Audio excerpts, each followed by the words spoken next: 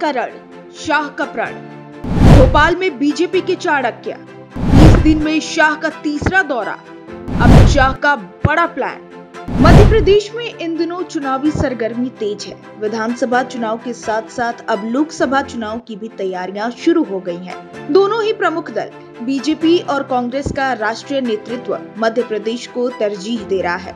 और यही कारण है कि चुनावी गतिविधियों के बीच केंद्रीय गृह मंत्री अमित शाह के दौरे लगातार बढ़ते जा रहे हैं। जी हाँ एक महीने के अंदर अमित शाह तीसरी बार फिर से भोपाल और इंदौर के दौरे पर जा रहे हैं। बता दें कि 30 जुलाई को अमित शाह भोपाल आने वाले हैं। यहाँ से वो इंदौर में बूथ कार्यकर्ताओं को संबोधित करेंगे। पिछले 20 दिनों में ये उनका तीसरा मध्य प्रदेश का दौरा होगा।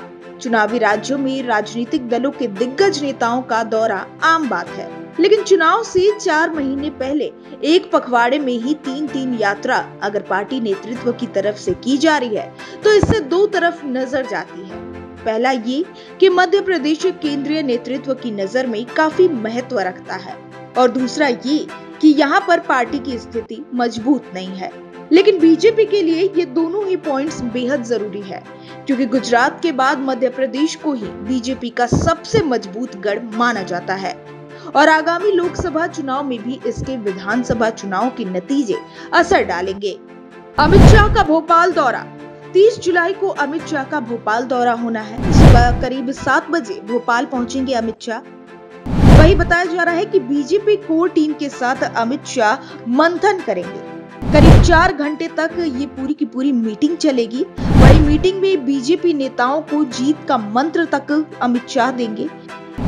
दो दो नेताओं का ग्रुप बनाकर बातचीत होगा। चुनाव जीतने के लिए शाह बड़ा प्लान बनाने वाले हैं। ऐसा सुनने में आ रहा है कि रूढ़े नेताओं को भी मनाने पर फोकस करेंगे। राज्य की 230 सीटों का समीक्षा शाह कर चुके हैं। इससे पहले 27 और 11 जुलाई को एमपी पहुँचे थे अमित शाह। वही पार्टी हाईकमान इस बार विधानसभा चुनाव को लेकर कोई कमी नहीं करना चाहती, क्योंकि विधानसभा चुनाव के ठीक बाद लोकसभा चुनाव सर पे है। और यही वजह है कि पार्टी हाईकमान ने स्थिति को देखते हुए आगामी विधानसभा चुनाव के लिए सूबे की कमान को अपने हाथ में ले ली है। अमित शाह के लगातार हो रहे दौरे इस बात के संकेत दे रहे हैं कि जल्द ही मध्य प्रदेश में कुछ बड़ा होने वाला है। शाह ने संभाली एमपी मोर्चे की कमान। राज्य में इसी साल होंगे विधानसभा चुनाव। परशुराम की जन्मस्थली जाएँगे शाह। दौर में इस कार्यक्रम में लेंगे हिस्सा। बता दें कि मध्य प्रदेश में कार्यकर्ताओं को संबोधित करने से पहले केंद्रीय मंत्री अमित शाह इंदौर से 50 किलोमीटर दूर जाना पाव कुटी भी जाएँगे। जाना पाव कुटी भगवान परशुराम की जन्मस्थली है। मालवा निर्माण में श्रवण वोटर्स भी कुछ सीटों पर निर्णायक भूमिका में रहते हैं। वही पिछले चुनाव में बीजेपी की हार का एक बड़ा कारण स्वर्ण समुदाय की नाराज़गी भी थी।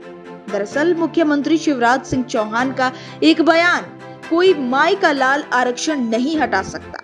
इसके ज़रिए स्वर्ण समाज में पनपी नाराज़गी का अंजाम बीजेपी पिछले चुनाव में भुगत चुकी है। अपने कोर वोटर समूह को भी बीजेपी मनाने की कवायद में लगी है।